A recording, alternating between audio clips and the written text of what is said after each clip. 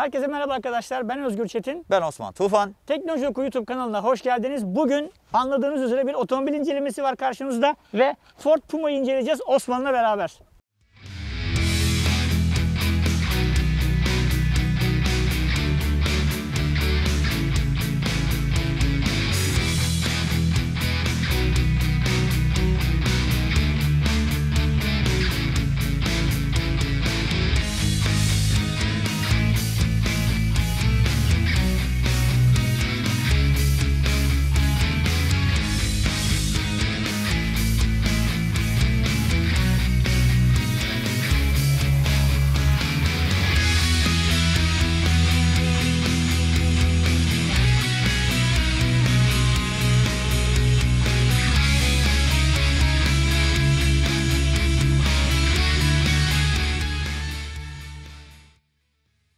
Evet arkadaşlar açık havadayız. Bugün İstanbul'da Kemerburgaz kent ormanındayız. Güzel bir ortamda Osman'la beraber bu arabayı incelemeye karar verdik. Ama biliyorsunuz bizim kanalda 2019 olması lazım yanlış hatırlamıyorsam bir Ford Focus incelemesi yapmıştık. Daha doğrusu o inceleme değildi. Böyle birkaç saat kullanıp deneyimlerimizi aktarmıştık.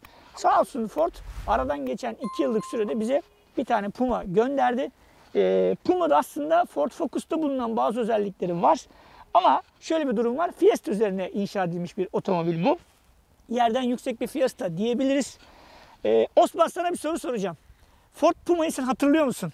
Evet çift kapılı bir kupe Heh. modeli vardı Hangi Ford'un. yıl peki çıktığını biliyor O musun? kadar hatırlamıyorum da o modeli ama hatırlıyorum. Kupe çift kapılı böyle çok da bana hitap etmeyen bir modeldi. Evet şimdi şöyle söyleyeyim arkadaşlar. 1990 yılında Ford Puma diye bir otomobil çıkartıyor. Aynen Osman söylediği gibi yine Fiesta üzerine geliştirilmiş bir otomobil. Tek kapılı spor bir otomobildi. Şimdi ise B sınıfı bir e, SUV olarak karşımıza çıkıyor Puma. E, birazcık ben hemen tasarımdan başlamak istiyorum.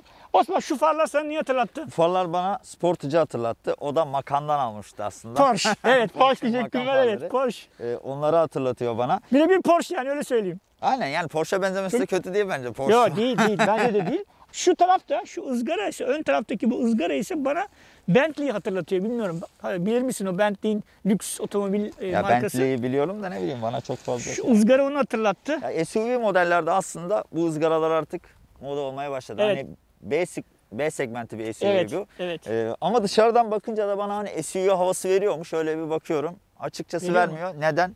Onu hemen söyleyeyim ben. Ee, şu lastiğin üstünde hemen şu kısımlar mesela SUV modellerde farklı renk oluyor genelde. Evet. Bir de tavan rayları. İlk dikkat ettiğim oydu benim. Tavan rayları yok. SUV denince akla böyle tavan rayları falan geliyor. Oralara böyle yükleme falan ama e, bunda yok. O yüzden ne bileyim sanki bana biraz böyle yüksek hatchback gibi bir şey geldi. Bu SUV havasını tam alamadım dışarıdan baktığımda en azından. Ama işte B sınıfı e, SUV'ler biraz öyle oluyor Osman. Yani mesela bak, rakiplerinde ne var? Kona var Hyundai'da. E, Peugeot'da 2008 var. 2008 var. e, Nissan'da Juke var. Var da var. Şimdi bir sürü çıkarttılar aslında. İlk önce Qashqai ile başlamıştı biliyorsun ama Qashqai bir üst segmentti. Şimdi C artık B segmenti, sınıfı evet. B sınıfına da SUV'lar da oluşmaya başladı. Şimdi arabanın tasarımı biraz böyle şey kaslı bir tasarım var. Ön tarafta da öyle. İstersen yanlara da bakalım. Oğuzcum gel şöyle mesela bu araba ST-Line paketi. En dolu paket. En dolu paket. Testlerde genelde böyle veriliyor. En dolu paket burada. Aynalar katlanabiliyor. 18 inçlik jantlarımız var. Jantlarımızı da gösterelim. Oldukça şekilli jantımız var. Ee, tasarım anlamında baktığımızda anahtarsız çalıştırma sistemi var. Bu Anahtarsız modelde giriş, anahtarsız çalıştırma hepsi var. giriş. Giriş de var. Buraya Giriş basınca var mı? burada Tamam. değil de yol, şoför kapısında çalışıyor. Bunun enteresan bir özelliği var. Şimdi onu göstereceğim. Şu anahtarını alayım. Tabii bu buradaki bazı teknolojiler opsiyonel arkadaşlar. Onları size göstereceğim. Şimdi anahtar elinizdeyken şimdi bunu deneyeceğim ama çalışmayabilir. Biliyorsun Osman şu hareketi yapıyorsunuz ya. Evet kapak açıldı gördüğünüz gibi. Bu en dolu pakette var tabii. Tabii en dolu pakette var. Aslında bagajı açmışken göstereyim. Bagajın da enteresan özellikleri var. Şöyle kaldırıyorsunuz. Bakın şuradan iki tane klip çıkıyor. Ve bagajı şöyle bu şekilde kullanabiliyorsunuz. Hatta daha yukarıda bir formatta da kullanabiliyorsunuz şöyle yaptığınız zaman. Şimdi yukarı çıktı bagaj. Bir de bu bagajın çok fantastik bir özelliği var Osman'cığım. Buna e, Türkiye'de geliştirilmiş bu bu arada. Ford Otosan'da geliştirilmiş öyle söylüyorlar. Bu pet e, Bayağı bir havuz var orada. yani evet. hayvanlar için uyumlu bir cihazmış. Öyle söylüyorlar. Şimdi şurada havuzun ötesinde bunu açıyorsun ya. şurada burada bir tıpa var. İçine su doldur, yıka. Sonra o tıpayı aç su gidiyor Ha, aşağıya. burası hayvanlar için değil de böyle daha çok hani çiçek, kirli çiçek şeyleri taşıdın. atıp, Ya şöyle. Pet, ıslak şeyleri at oraya. şöyle falan, o pet tarz friendly şey yani. diyorlar. Bir yandan bir yandan da saksı koydun. İşte dağa çıktın çamurlu ayakkabılarını attın sonra yıkadın mı tertemiz oluyor. Ne bileyim orası bana çok pet friend gibi bir yere gelmedi çünkü. Ya köpeğin falan varsa buraya atarsın ya Osman. Niye üzerine kapağı kapatınca çok şey olmaz ya? Kapatmayacağız mı yoksa? Yok Öyle kapağı kapatmayacaksın. Hayır kapağı kapatmayacaksın canım. şöyle bir şeyimiz var. Şöyle bir şöyle bir parçamız var. O genelde SUV sınıfındaki tüm otomobillerde var zaten. Şöyle ama birazcık- SUV'lerde. Ama biraz bu Zincir yani böyle bir kumaş üzerine bir şey. koysa aynen kumaş yapmışlar. Genelde bu SUV'lerde çekme tarzında oluyordu. Evet O bunda öyle yapmamışlar. aparat. Aynen çekme tarzında yapmamışlar. Ama böyle güzel bir bagajımız var. Evet bagajı geniş ve kullanılabilir. İstiyorsan böyle oluyor. Biraz yukarıda duruyor. İstiyorsan da Aşağı alıyorsun. şöyle şunları kapatırsak. Biraz daha genişletiyorsun bagaj. Şöyle kapatamadık tabii ama. Evet kapattığın zaman da şunu da atalım içine. Bu şekilde oluyor. 12 volt çakmak şarjımız var. Şurada çeşitli malzemeleri koyabileceğimiz bir gizli bir cebimiz var. Burada bakın. Burada işte lastik mastik şişirme şeyi falan var. Burada herhalde lastik yedek yok. lastik yok. Yedek Ha, lastik yok. Lastik tamir kiti var kadarıyla. Lastik tamir kiti var aynen öyle. Onun dışında yas, koltuklar şey Burada olarak yatabiliyor. O İstersen ayağınla da oluyor. Bak şimdi yine şekilde şöyle çek bakalım Oğuz'cum genişten. Bakalım yapabilecek miyim yalnız? Her zaman olmuyor mu? Birkaç kez, birkaç kez denedim olmamıştı ama şimdi oldu. Arkası da güzel bu arada. Arka ledler LED falan lambalar, gayet güzel. önler de led, arkalar da led arkadaşlar. Puma yazımız var. Şöyle şekilli bir puma yapılmış buraya. Son dönemde hemen hemen bütün otomobillerde karşımıza çıkıyor. Yani eskiden sağda ya da solda küçük yazardı logo. Şimdi genel itibariyle logonun altına modelin ismini yazıyorlar. Yeni Volkswagen modellerinin hemen hemen hepsinde de bu şekilde. Ford da bu şekilde yapmış. Evet. Algılayıcılar var. Arka kamera görüş görüş kameramız şurada. Buraya konumlandırılmış. İşte park sensörleri bilmem ne. Hem önde var hem arkada var ama tabii bunlar hep e, opsiyonel. Bu opsiyonları e, ekranda gösteririz. Yani teknoloji paketi var, konfor paketi var. Farklı farklı e, donanımların farklı farklı teknoloji ve konfor paketleri var. Ya fiyata göre şekilleniyor sanırım. Aynı. Çünkü ülkemizde hani otomobil fiyatları arkadaşlar biliyorsunuz çok fazla böyle geniş yelpazelere yayılıyor. Bir Passat Evet. almaya kalktığında atıyorum 300 binden başlıyor 1 milyona kadar gidiyor. Yani Evet. baktığında dışarıdan aynı araba gibi duruyor ama içine bindiğinde bambaşka bir dünya. Devam edelim. Ee, diğer yan tarafa baktık. Arkası biraz ferah gibi. Yani çok basık değil, çok kapalı da değil. Öyle söyleyeyim. Burayı gösterebilirsiniz isterseniz. Arka kısım aslında bana biraz küçük geldi ya. Öyle mi? B segment olmasından ötürüdür muhtemelen. Şöyle hatta sen bir geç abi Bir uzun geçelim. boylusun biraz da. Ben Bakalım bir 1.73, baş mesafesine falan. 1.74. Şöyle bir oturduk. Yani diz mesafesi kaç parmak mesela çok kalmadı. Yani yine bir 3 3 parmak kalıyor rahat. Şöyle bir yukarıyı gösterelim. Oğuz istersen şöyle içeri doğru girip şuradan mesela buradan da bir ya bence çok dar değil. Şurada şöyle bir şey var. Ya ama bak şöyle bir şey var. Ya SUV sınıfı havalandırma bir yok. araba ama Arka bu. tarafta havalandırma yok onu söyleyeyim. Bir de en dolu model olmasına rağmen kol Rağmen dayama yok. da yok sanırım. Kol dayama da yok ne yazık ki. Arka tarafta çok fazla bir konfor seçeneği sunmuyor o zaman. Kol dayama yok. Ee, havalandırma vesaire yok. İnsan buraya bir tane USB falan koyar ya ne bileyim öyle bir şey koysa. şunlar da çok kalitesiz gibi duruyor yani. Yani en dolu Otobüs, otobüslerde var değil mi? Çizgilerde eskiden hatırlıyor Çok musun? hoş durmamış yani file tarzı cepler koymak oraya. Koltuk ısıtma arkalarda yok yine. Evet ön Sadece koltuklarda var. Ee, onları şimdi söyleriz öne geçelim. Orada anlatalım hepsini. Arka taraf çok konfor sunmuyor bence. Yani açıkçası bir de dar geldi bana. Sen dar değil diyorsun ama bana biraz daha dar geldi arka taraf. Ee, ki şundan dolayı dar geldi. Bu mesela B sınıfı bir otomobil olsaydı yani B sınıfı derken hani Fiesta, hatchback tarzı bir şey olsaydı tamam, Tamam. ama hani SUV deyince insanın aklına böyle biraz daha genişlik, biraz daha konfor geliyor. Ama B sınıfındaki SUV'lerde daha mı da- da- geniş? O da tartışmalı bir konu tabii. Ya tabii evet B sınıfı SUV'lerde evet biraz daha dar arka tarafta. İşte SUV deyince insanın İnsan aklına aklında gelen evet yani sen şey düşünüyorsun böyle eskalade falan gibi böyle zırhlı araba gibi düşünüyorsun. Çıkalım biraz arabadan. Ya bir de bende mesela C sınıfı Sportage vardı biliyorsun. Evet Sportage var. O bayağı genişti. Arkası da bayağı genişti onun. Evet. Hani diz mesafesi vesaire olsun bayağı bir genişti. Ee, tabii C ile B arasında muhtemelen fark vardır arkadaşlar. O O da yüzden fiyat farkı işte yani. bu şekilde diyebiliriz. Bunun fiyatını sonra mı söyleyeceksin abi? Sonra söyleyelim ya. İçeride alıştıra biraz alıştıra mı söyleyeyim alıştıra diyorsun? alıştıra söyleyelim. Korkutmayalım e, izleyicilerimizi, okuyucularımızı. Tamam yavaştan içine geçelim İçine o zaman. geçelim. Dışı bu kadar. Şu köpek balığı şeyi de herhalde orijinalinde geliyor değil mi? Evet orijinalde Anten. geliyor. Yalnız şöyle bir durum var. Şimdi açılır tavan var eyvallah ama açılır tavan e, yarıya kadar açılıyor. Şurası Ha. açılmıyor. Sadece Hemen burası açılıyor. açılıyor.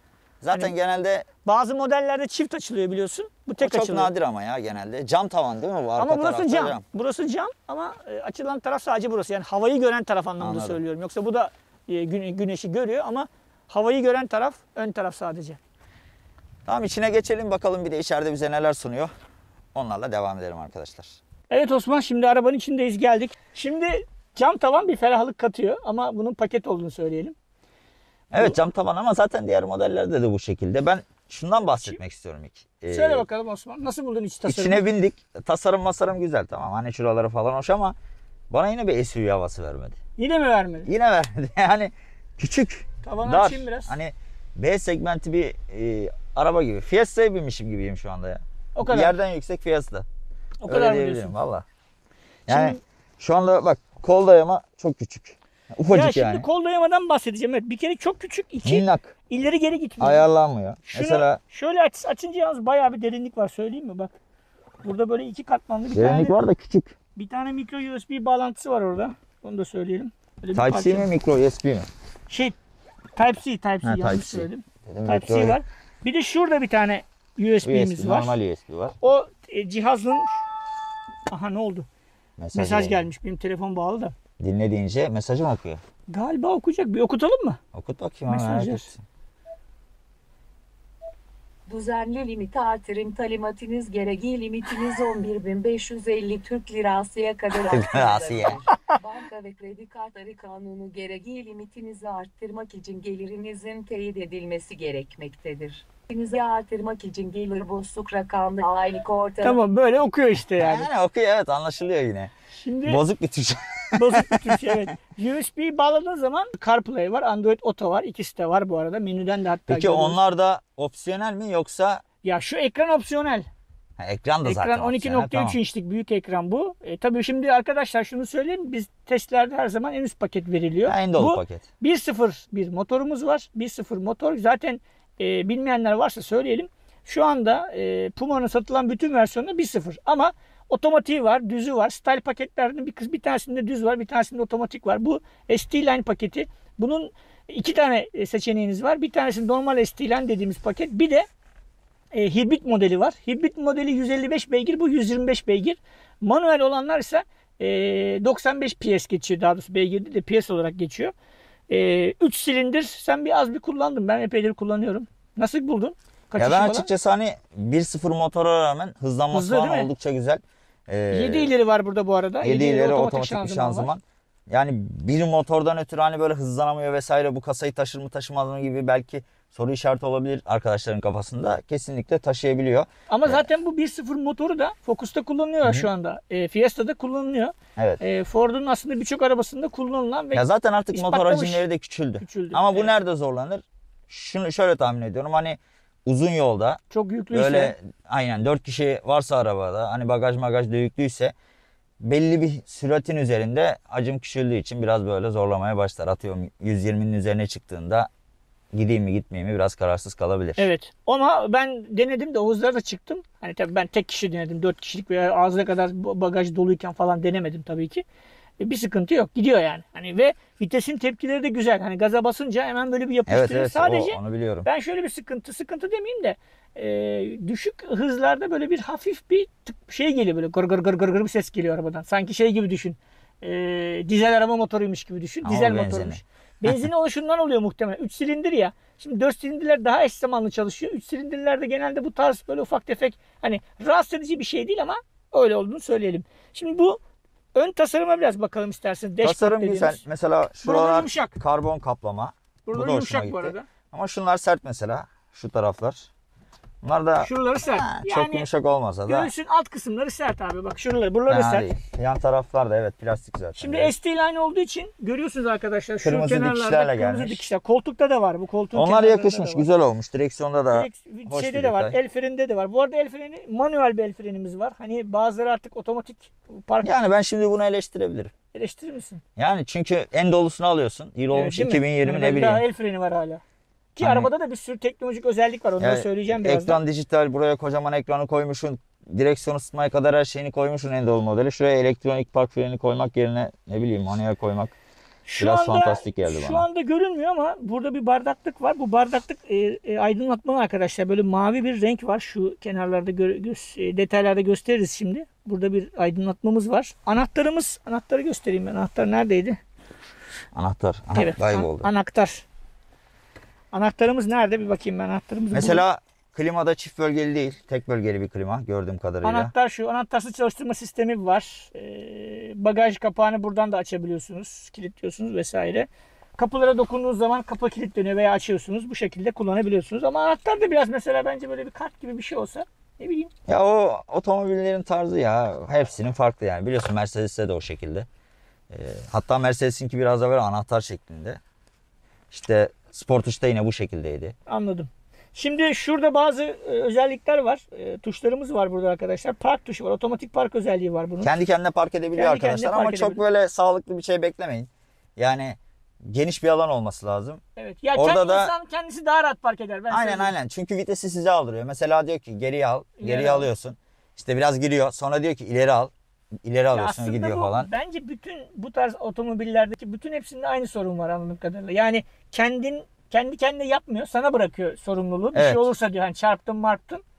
Ya sensörlerle o Yapıyor. sonuçta yapıyor Evet. işte. Yani ben ne bileyim park olayında böyle daha çok ileri gidildiğini düşünmüyorum. Yok. Otonom sürüşe geçilse belki o olur da yani Şimdi ondan Ee, da bahsedeceğim birazdan. otomatik park çok sağlıklı değil bence. Şimdi vitesten bahsettik. PRD, ND, M var. Manuel mod var. Manuel modu aldığınızda burada kulaklıklarımız var. İşte F1 artı, vites diye eksi. geçiyor onlar. Fakat bence biraz içeride kalmış bunlar. Sanki biraz daha böyle dışarı çıksa Evet Yani- direksiyon biraz hani kalın ya. kalın biraz olduğu için. arkada evet. kalmışlar. Bir de ben şunu da eleştireceğim viteste.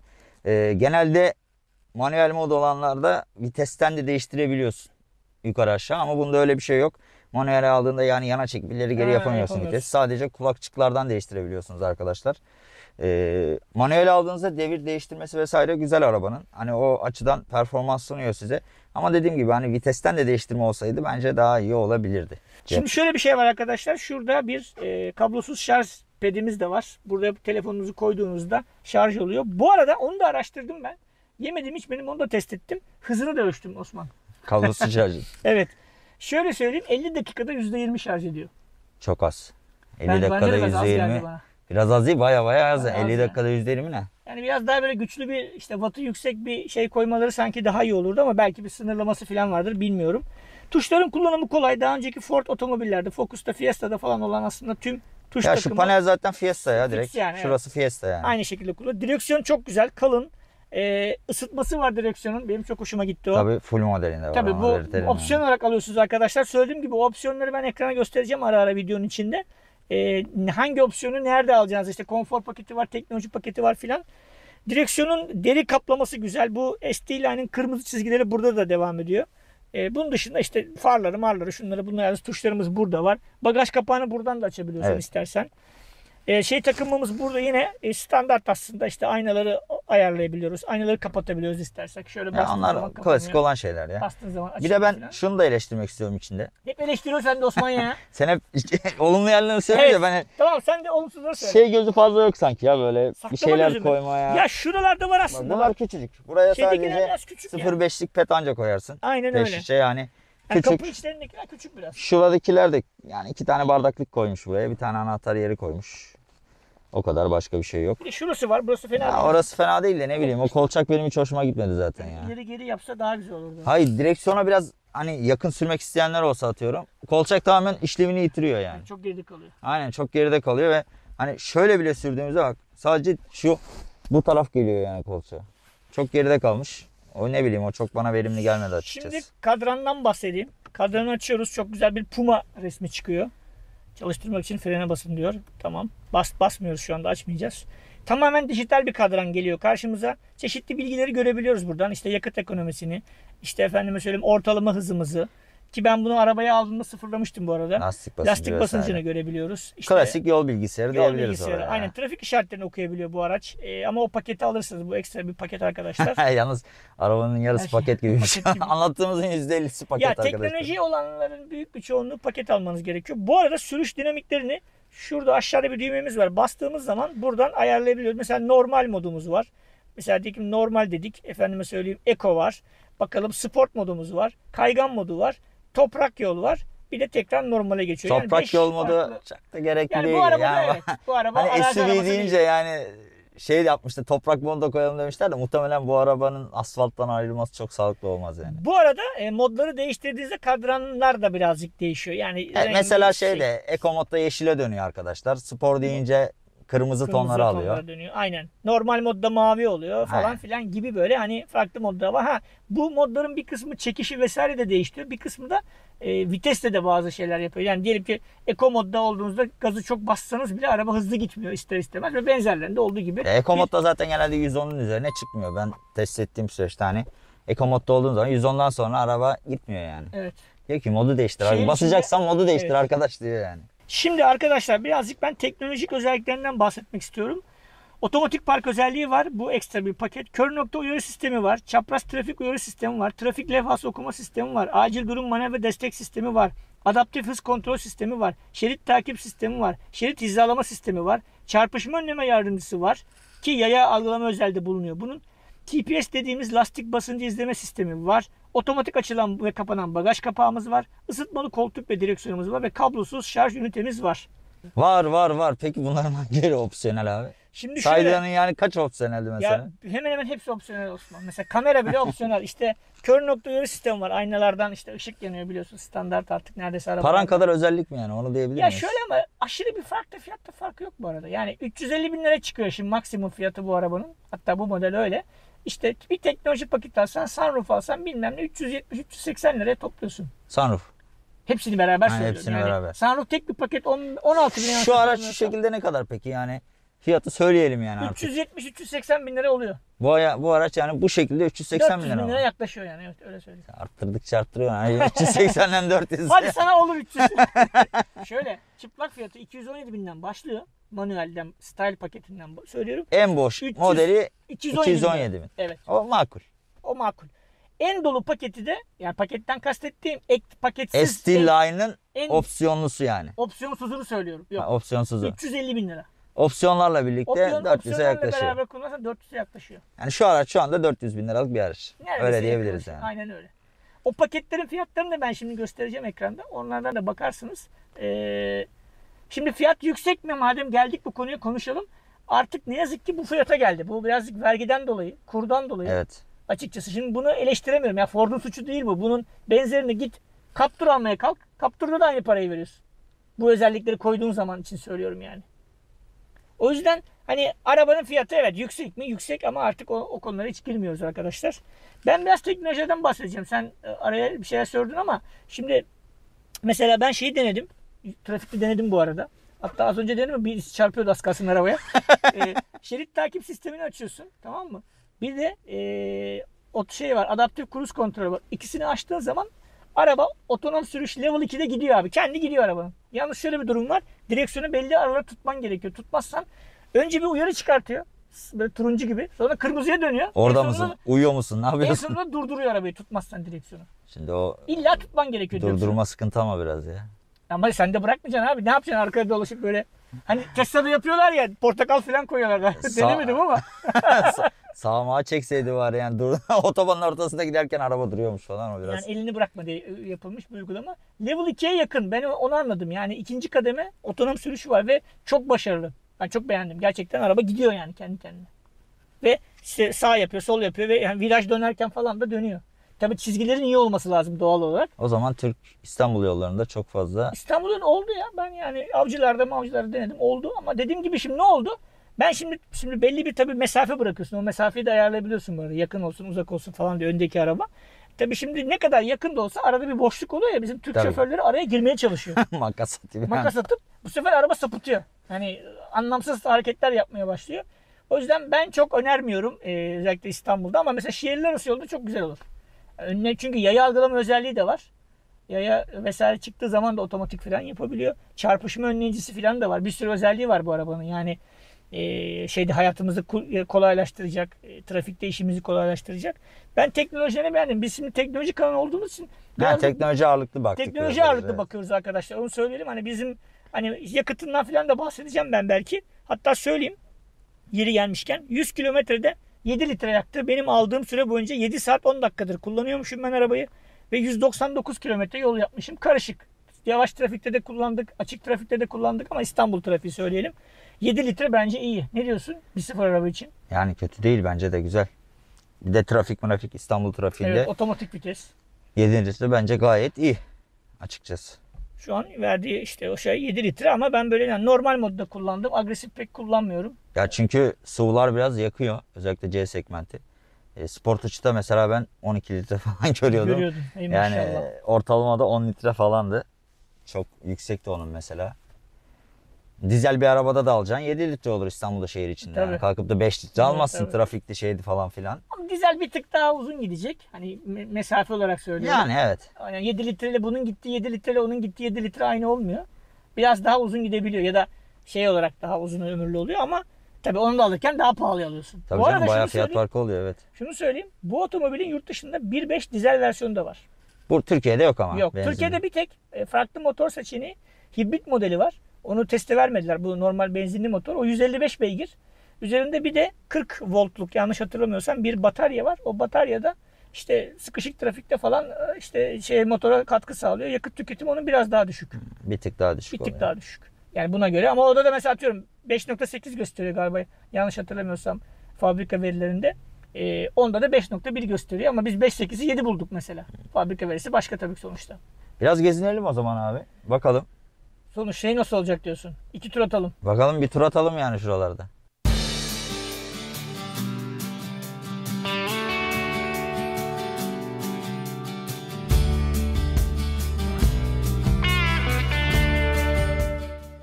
Evet Osman biraz sen kullan bakalım. Nasıl bulacaksın arabanın?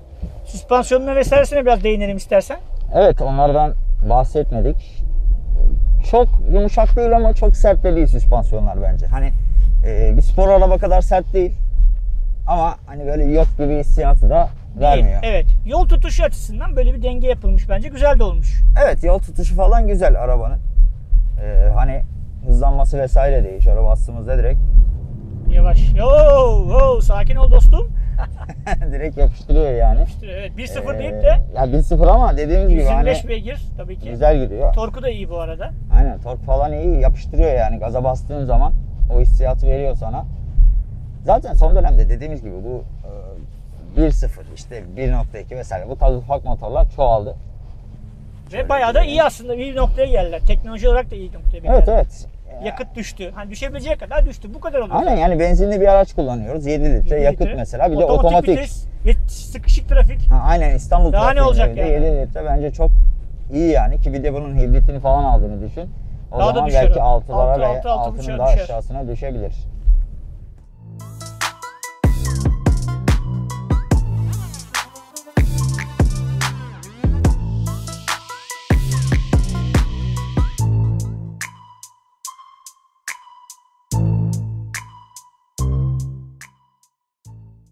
Evet sevgili Teknoloji Oku takipçileri, YouTube kanalımızdaki bu videomuzda Osman'la beraber Ford Puma ST Line'i inceledik.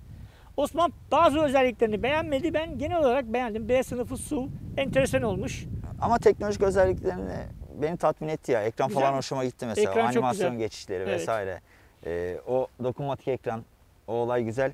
Bir de şu da var mesela. Çoğu premium markada bile hani ekranın dokunmatik olması ayrı bir opsiyona bağlı mesela. Evet ve bu Burada- güzel çalışıyor bu arada evet, dokunmatik, dokunmatik falan. falan gerçekten güzel. Normal tablet gibi kullanıyoruz yani. Evet, yani teknoloji açısından güzel. On numara Onu ama dediğim gibi hani Tamam ben de beğendim onu. Ama SUV tarafında yorumladığımız zaman B sınıfı SUV olmasından da kaynaklı tabii bu durumlar. Evet. Hani rakipleri de çok geniş değil aman aman aman. Tamam dediğim gibi SUV deyince insan biraz daha böyle geniş, konfor, Yani o bunları za- bekliyor yani. O zaman şöyle mi söyleyelim? Teknoloji tarafını beğendin mi? Ki ben de Evet. beğendim bu arada teknoloji tarafını arkadaşlar. Şerit takip, işte adaptif cruise kontrolü bayağı level 2 otonom sürüş yapıyorsunuz. Ee, ama diyorsun ki SUV dendiği zaman benim aklıma gelen şey bu değil. Aynen öyle. Evet. Evet. Bu Fiesta'nın biraz Birazcık yüksek yerden hali. yüksek Aynen hali öyle. olmuş. Fiesta'nın O zaman Ho- şey bu hormonlu Fiesta. o zaman şunu söyleyebiliriz belki de. Hani mesela bu teknolojiler Fiesta'da olsa ki var bildiğim kadarıyla birçoğu da gayet güzel beğenirsin diye tahmin ama ediyorum. Fiesta'nın tipi de bu tipi güzel ama. Bak Tipini beğendin mi? tipi güzel. Porsche. Porsche Macan Porsche farları Macan falan. tadı falan iyi yer değil mi? Yani şu mesela aşağıya doğru eğilen yapı Yan falan. profil de hafif güzel. böyle kupe şeyi falan da var. Tipi güzel arabanın. Yani tipini beğendik, teknolojilerini beğendik ama SUV dediğimiz zaman aklımıza gelen şey bu yaşam değil. alanı sunduğu yaşam alanı kısıtlı biraz işte. Evet. Ya işte B sınıfı SUV olunca biraz böyle Evet. oluyor değil mi ister istemez. Aynen öyle. Bagajı falan yine kurtarıyor şeye Evet, göre, o- hatchback'lere göre. Yıkanabilen bagaj da güzel. O da benim Evet o, hoşuma gitti. o güzel bak mesela hani dedim ya atıyorum mesela sahile plaja vesaire gittin ıslak şeylerin var at At. oraya. Bir de onları orada yıka bir güzel çitile mitile Evet. aksın gitsin oradan. O gerçekten çok güzel düşünülmüş yani. Hoşuma Güzel bir şey. o. Bunu Türkiye'de düşünmüşler. Ellerine sağlık Ford Otosan'daki kim geliştirdiyse artık ben bilmiyorum. Kimin aklına geldiyse. Mühendisleri mi diye bir ekip mi vardır bilemiyorum ama hepsinin eline sağlık diyoruz. Son olarak bir kez daha fiyatlardan bahsedelim. 217 bin liradan başlıyor. En boş paketi. En dolu paket dediğimiz ST Line'ın e, bu paketi gerçi bu şimdi üzerine ekstra paketlerde alınmış hali. 350 bin liraya çıkıyor. O ekstra paketleri de alırsanız 400 bin sunroof'tu. lira falan yani. 400'e yaklaşıyor arkadaşlar. Yani arkadaşlar şunu söyleyebiliriz. Bizim bu incelediğimiz araç gördüğünüz özellikler vesaire 400. Hani 380 sa- çok böyle tanıdığınız varsa 380'e falan denk geliyor neredeyse. Tabii Çünkü tek- sıfırı var mı acaba sıfırı o da var. Şimdi biliyorsun sıfırı 380 ise onu 450'ye alabiliyoruz ancak. Çünkü toplanmış oluyor. Valla bilmiyorum hani sormadık Yani bayilere ama vardır diye tahmin ediyorum. Tabii fiyatlara yorum yapmıyoruz arkadaşlar. Bütün otomobil fiyatları ne yazık ki yüksek. Onu hep Evet. söylüyoruz zaten. E, kurlardan dolayı, vergiden dolayı, şundan dolayı, bundan dolayı. O yüzden bu fiyatlar normaldir, değildir ya da şunu muhtemelen şunu söyleyeceksiniz. Ben görüyorum o yorumları Osman. Bunu 400 bin lira vereceğime şunu alırım, bunu alırım. Elbette alınabilir. Tabii ki. E, seçenekler tabii ki sonsuz. Mercedes alırsın, BMW alırsın, başka markalardan. Ya bunun da hitap edeceği bir kitle vardır. Var. Sportif, yerden yüksek, farlar Mini Porsche, Mini. Porsche. evet arkadaşlar Osman'la beraber Ford Puma'yı inceledik. Bu modelle ilgili aklınıza takılan sorular varsa videonun altında bizlere yorum yapmayı unutmayın.